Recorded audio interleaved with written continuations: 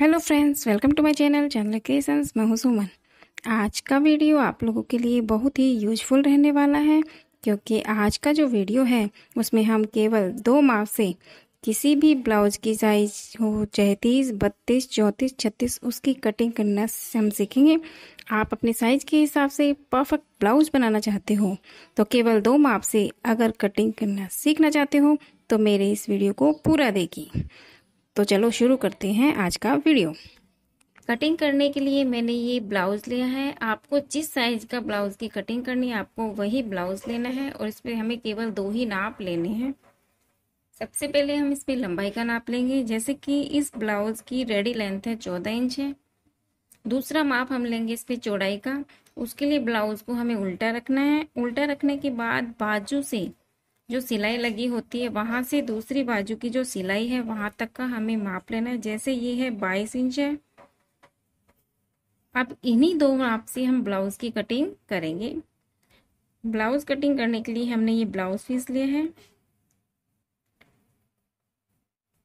अब इसे हमें सबसे पहले डबल फोल्ड करना है।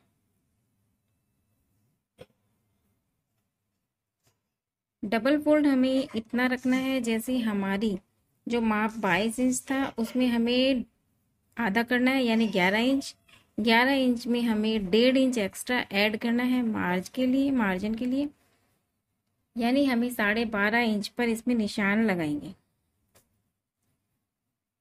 आपका जो भी नाप होता है, जैसे आपका बीस है तो बीस को हम आधा करेंगे दस इंच, उसमें डेढ़ इंच ऐड करके, यानी साढ़े ग्यारह पर हम मार्क करेंगे।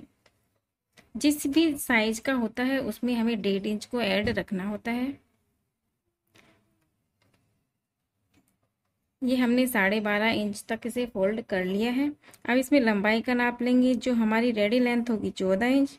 दो इंच इसमें ऐड रखेंगे, नीचे फोल्ड करने के लिए और शोल्डर पे मार्जिन के लिए। अब इसमें जो हमने निशान लगाया है, वहाँ से पकड़ते हुए कपड़े को फोल्ड करना है। यानी ये फोर फोल्ड हो चुका है। इसमें एक पार्ट थोड़ा बड़ा है, एक पार्ट थोड़ा छोटा है। छोटा वाला पार्ट होता है, वो पीछे का होता है और बड़े वाला जो आगे एक इंच एक्स्ट्रा है, वो आगे का होता है, जिसमें हम आड़ पट्टी जोड़ते हैं, उसकी मार्जिन के लिए हमने एक इंच एक्स्ट्रा रखा है। अब इसमें जो आगे का पार्ट है, यानी जो एक इंच एक्स्ट्रा है, वो पार्ट हमें ऊपर की तरफ़ रखना है। सबसे पहले हम गले की तरफ़ से जो बंद भाग है, वहाँ गले का निशान लगाएँगे तीन इंच। ये जो ये जो तीन इंच का निशान होता है, वो लगभग सभी में सेम होता है। और लंबाई हम रखेंगे साढ़े छः इंच। यदि आप डीप पहनते हो तो उसमें बढ़ा भी सकते हो। और अंदर अगर गोल गला पहनते हो, एक इंच पर हम निशान लगाकर इसे गोलाई देंगे।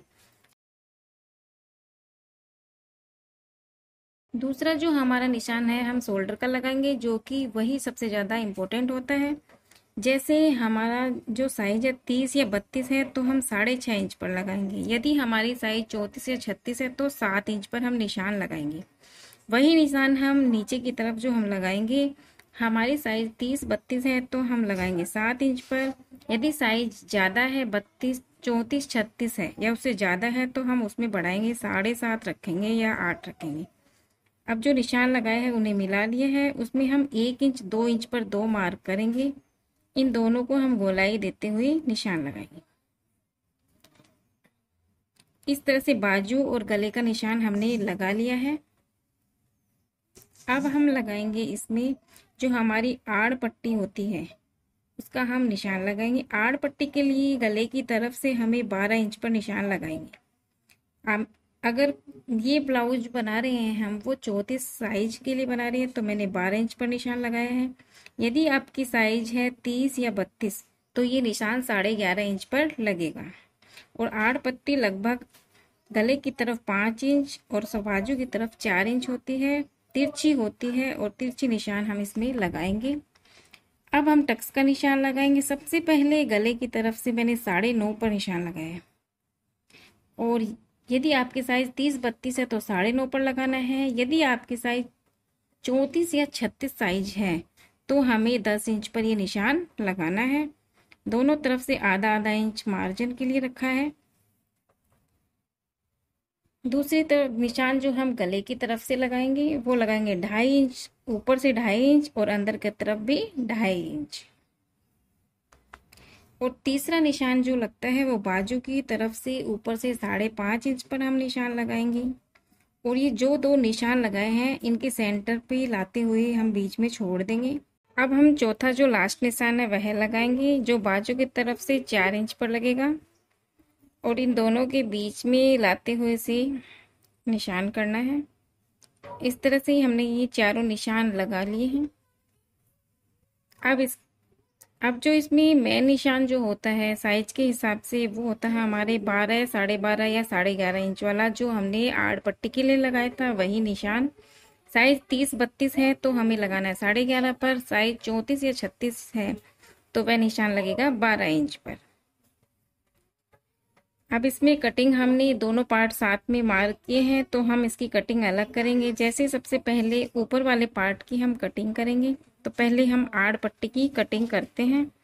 दोनों पार्ट को साथ में कट नहीं करना है, केवल ऊपर वाले पार्ट है, उसी की ही हमें कटिंग करनी है।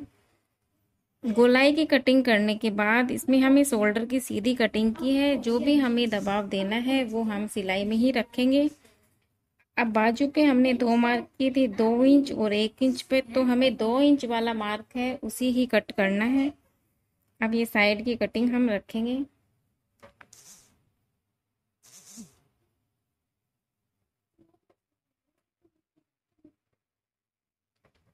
इस आड़ पट्टी की हम कटिंग करेंगे। और साथ ही हम ये आगे वाले पार्ट्स हैं इन्हें भी हम अलग करेंगे।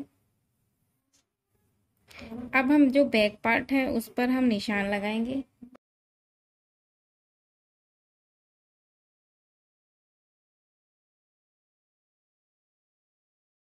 जो हमने आगे का गला कट किया था वो तीन इंच पर तो हम तीन इंच का ही निशान लगाएँगे। गले का लगभग तीन इंच, साढ़े तीन इंच पर ही निशान लगता है। आप खुला या चौड़ा ब्लाउज पहनते हो तो साढ़े तीन का लगाना है। लंबाई मैंने लगाई है दस इंच। अगर आप डीप पहनते हो तो इसकी लंबाई को आप बढ़ा सकते हो। और पीछे का गला आप अपने हिसाब से, डिज़ाइन के हिसाब से कर सकते हो। मैंने ये गोल्ड निशान लगाया है। अब दूसरा हम लगाएँगे पीछे पे जो हमारी टक्स होती है, उसके निशान। तो उसमें लंबाई पे हमने दस इंच पर लगाया है और जो बंद साइड से है, वहाँ से मैंने चार इंच पर निशान लगाया है। नीचे भी हमें चार इंच पर मार्क करते हुए इस तरह से पूरा निशान करना है। अब ये गले को हमने कट किया है। आप डिज़ाइन के हिसाब से पीछे का गला कट कर सकते हो।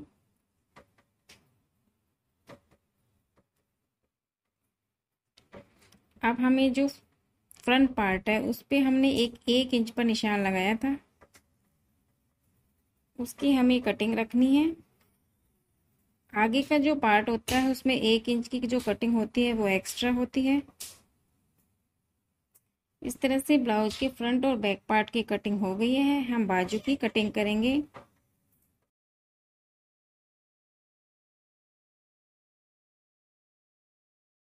रख सकते हो। ब्लाउज की जितनी लंबी आपको बाजू बनानी है, यदि आपके साइज़ ब्लाउज की तीस बत्तीस है तो इसमें रखना है हमें साढ़े आठ इंच।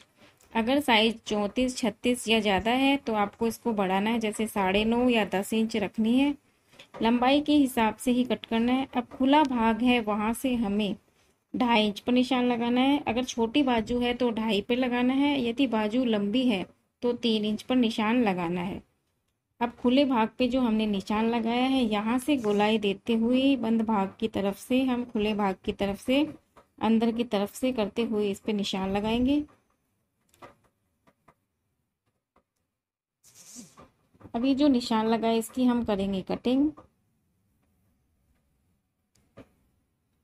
अगर बाजू लंबे रखते हो तो तीन इंच का मार्क करते हुए कटिंग करनी है।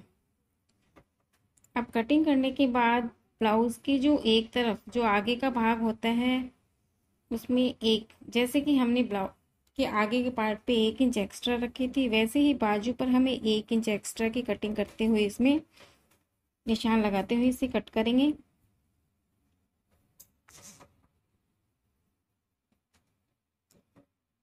इसी कटिंग से ही हमारे ब्लाउज की जो फिटिंग आती है, वो बहुत ही अच्छी आती है। एकदम जो बाजू है वो परफेक्ट तरीके से सेट होती है। ये हमने किसी भी साइज़ के ब्लाउज़ को हम इस तरह से कटिंग आसानी से कर सकते हैं।